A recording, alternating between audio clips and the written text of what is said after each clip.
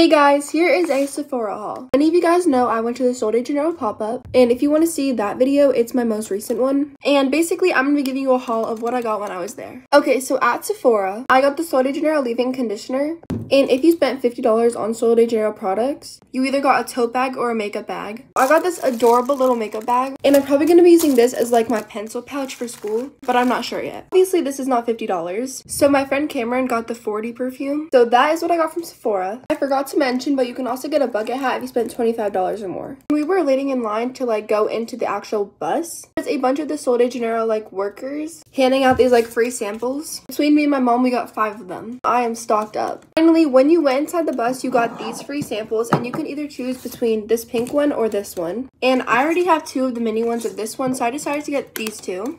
And they smell really good. Everything I got and I hope you guys enjoyed. Bye!